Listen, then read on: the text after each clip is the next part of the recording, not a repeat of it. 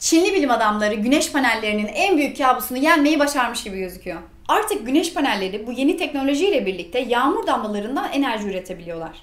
Bu panellerin içerisindeki hücrelerde grafen katmanlar var. Yağmur damlası bu grafene yapışıyor.